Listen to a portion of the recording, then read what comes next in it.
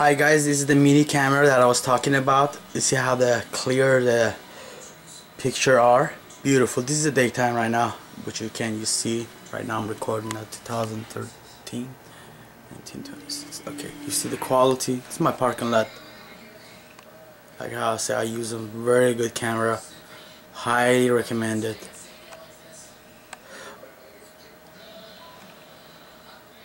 Uh, at nighttime I will be recording and I'll put it on eBay so you guys could see.